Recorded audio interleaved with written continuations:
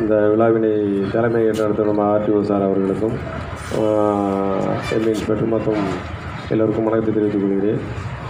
இந்த இது கவர்மெண்ட்டில் ஏன் பண்ணியிருக்காங்க அரசாங்கத்தில் ஏன் பண்ணியிருக்காங்கன்னா ஒரு விழிப்புணர்வுக்காக பண்ணுறாங்க அது நம்ம நல்லபடியாக யூஸ் பண்ணிக்கணும். நம்மள்ட்ட இப்போ வாகனம் வந்து மூணு வகையாக இருக்குது அதில் மெயின் பார்த்தீங்கன்னா டூ வீலர் எழுபது பர்சன்டேஜ் இருக்குது அந்த எழுபது பர்சன்டேஜில் ஐம்பது பர்சன்டேஜ் ஹெல்மெட் போடுறது கிடையாது.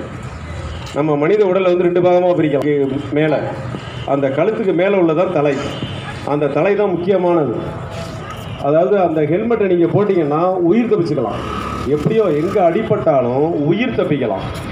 அதனால தான் ஹெல்மெட் உங்கள்கிட்ட அடிக்கடி சொல்கிறது ஹெல்மெட்டை போடு ஹெல்மெட்டை போடுன்னு சொல்லி. ஹெல்மெட்டு போட்டிங்கன்னா எந்த இது ஆனாலும் உங்களுக்கு எதுவும் ஆகாது உயிரை காப்பாற்றிடலாம் அதே டைம் தலையில் லேசாக அடிப்பட்டால் சில பேருக்கு ஒன்றுமே இருக்காது. அடிப்பட்டு கீழே இருப்பான் ஆனால் இறந்து போயிருப்பான்.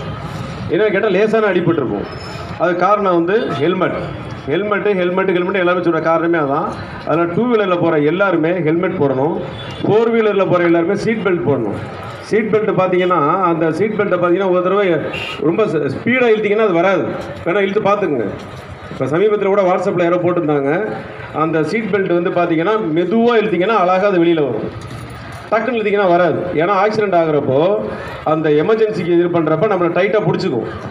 ஒரு பெல்ட் அதாவது ஒரு நாலஞ்சு இது ஆனாலும் அது என்ன ஆகும்னா அந்த சீட் பெல்ட் இருந்து நம்மளை காப்பாற்றிடலாம் எதுவுமே ஆகாது. நீங்கள் பாட்டுக்கு அழகாக அந்த ஏர் பேக் வரும் வெளியில் வரும் இது வந்துடலாம். நீங்கள் சாதாரணமாக இருக்கிறப்ப சீட் பெல்ட் லேசாக எடுத்தீங்கன்னா ஈஸியாக வந்துடும் அதுக்காக தான் சீட் பெல்ட் போட சொல்கிறது நம்மளுக்கு எப்பயுமே சீட் பெல்ட்டு ஹெல்மெட் இது ரொம்ப முக்கியம்.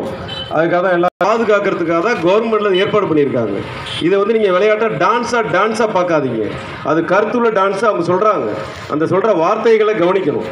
அதுக்காக தான் இந்த இதெல்லாம் பண்ணியிருக்காங்க. அதுபோல் புரிஞ்செல்லாம் நடந்துங்க நன்றி வணக்கம்.